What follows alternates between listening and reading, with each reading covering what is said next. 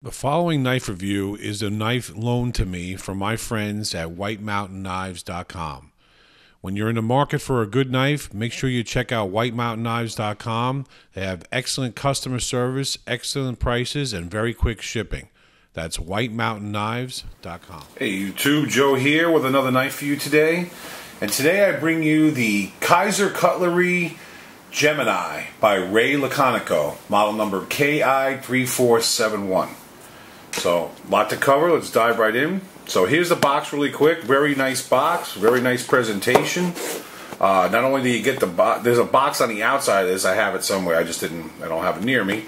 But a box on the outside of this. and you get to this box, which is a harder box. Then when you open that box, you got this nice pouch, this digitized pouch. You open it up. I mean, the knife's not in there currently. Very smooth on the inside. Nice presentation, nice pouch. And you get a little cloth in there as well. So really like that. By Kizer. nice, nice touches. So let's bust out the knife. So here's the knife. Let's zoom right in. Oop, a little off camera. So let me, uh, while I show you the knife, I'll go over some of the materials. So the blade is, here's my notes. I should know this by heart. The blade is obviously a drop point blade, stone washed. The material is CPN, I'm sorry, CPM S35 VN steel. The scales are titanium. And if you want to know a particular type of titanium, though I'm not up on all the types of titanium, it's a uh, 6AL4V titanium. We're naming it titanium now. Let's see. Uh, what else can I tell you about it? The blade length is a 3.1 inch blade length. The overall length is 7.25 inches. Uh, it's a frame lock, obviously. Uh, the bear, the the pivot is a ball bearing pivot, which I can say opens very smooth. What else we have here we can talk about? Uh, the the clip is a uh, tip up carry, right side only.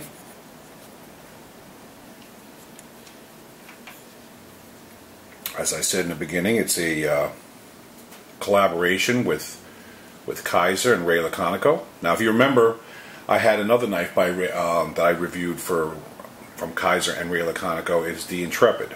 I kind of, I mean, it's a different blade shape. It's a whole other thing, but it kind of reminds me a little bit of like a mini version of that of that knife, the Intrepid. Make sure that's coming in clear. Uh, what else can I tell you? So let's zoom in.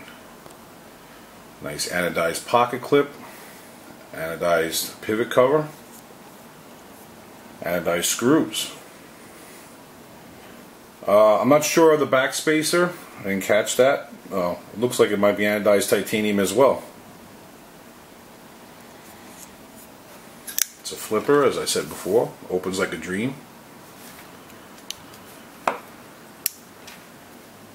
And pretty much goes all day long.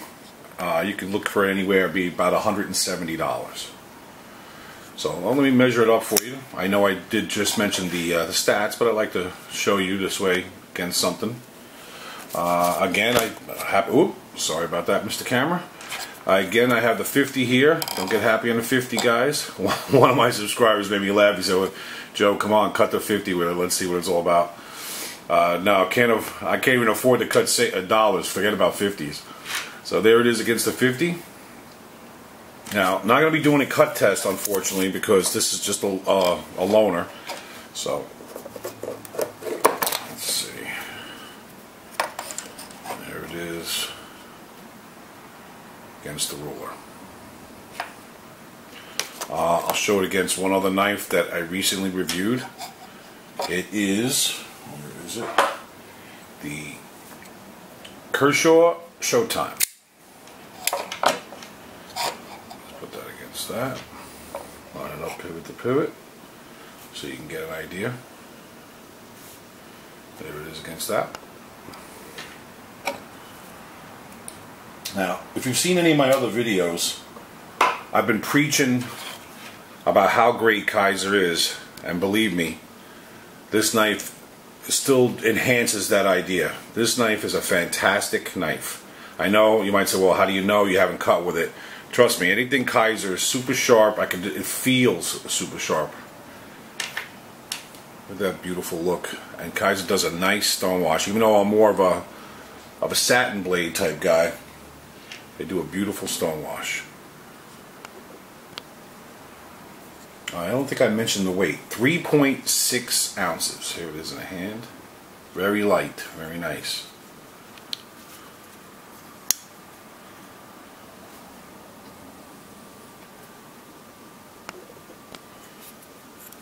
Now, I know to coin a, a, a, saying my mother used to say, you sound like a broken record, but my last several videos here and there, I keep mentioning uh, things I don't like and do like, and one of the things I don't like, and a few of them, is the pocket clips, and again, that applies to this one as well.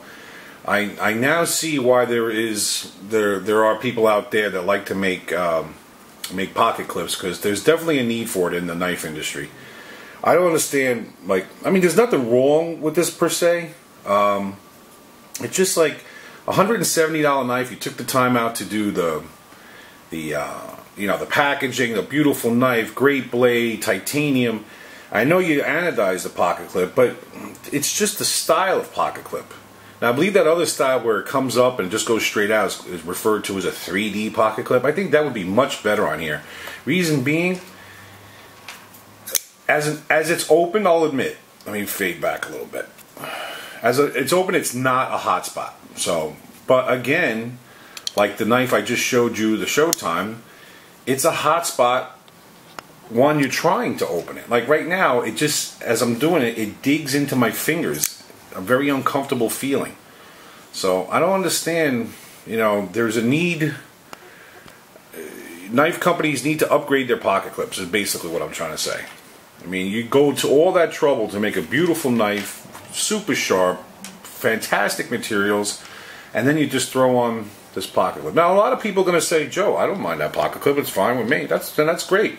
I don't like, you know, maybe, maybe some of these that, depending on the side of the knife, it doesn't feel bad opening up.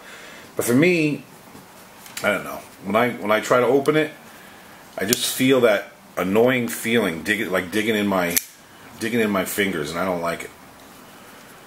But I can honestly say, other than that, and maybe I did mention, I think in my last video, I'm not a big fan of just the design of the of the the pivot screw or the pivot cover right here. That's all, just the design. I like that they took the time out to anodize it, but I like my personal thing. I mean, my my personal taste. You've made the knife so like great lines, nice and plain, nice and plain blade. I think this would have been nicer just plain as well. That's all.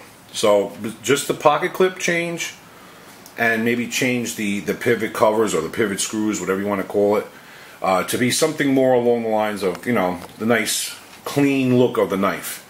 But other than that, well, maybe there's one other thing, but I can understand maybe the price too is a little on the high side. Yeah, you might be saying, but Joe, you're getting, you know, you're getting S35 VN steel, you're getting titanium scales. Yeah, but it's a smaller knife, and if I remember correctly, the um, the, what do you, if you when you saw it against the uh, let's bust it out again. When you saw it against the the Showtime, it's not that big of a knife.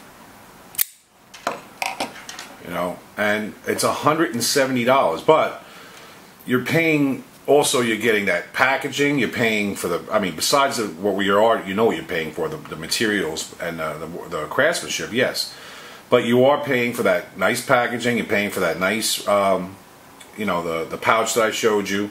So if you take into all that into consideration, all right, $170. I'm not saying it's too far away from uh, you know what it should be. I just think I don't know, maybe 20 $25 less would have been a would have been a, uh, something that more people would have been buying this. I mean, as it is, it stands. It's a fantastic knife. It's beautiful to look at. It's light. It's sharp Uh, it can't, con- you know, because of the size. It, I mean, it is small, but it's not small to be actually. I would say to be called a gentleman's knife. But it's definitely going to do the task that you want. That's something maybe, uh, you know, that a knife that you would usually use, say, a three and a half inch or four inch knife. It's very beautiful. I just think maybe twenty five dollars less. I I'd, I'd settle for less packaging, keep the pouch, less packaging, take twenty dollars off, and I'd be a happy camper. As it stands, absolutely gorgeous. And again, for those of you just watching my videos for the first time, or just familiarizing yourself with um, with Kizer for the first time, definitely, definitely look into Kizer. I can't tell you how great their products are. I know some people might say, "Oh, Chinese company, blah blah blah blah, whatever," but this is a Chinese company that's making their own knives and they're doing collaborations. You know, this is not a clone. They're not making clones. They're making quality products. And this, like I mentioned in my other videos, this Kizer is not going anywhere. They are definitely a major player in the knife industry. And they're getting better and better and better. So, let me stop rambling on and on. So, final shot. Let's zoom in. Get that centered. So there you have it. It's the Kizer Gemini, a collaboration with Ray Laconico, model KI3471. $170 everywhere. Thanks a lot for watching, everyone, and God bless.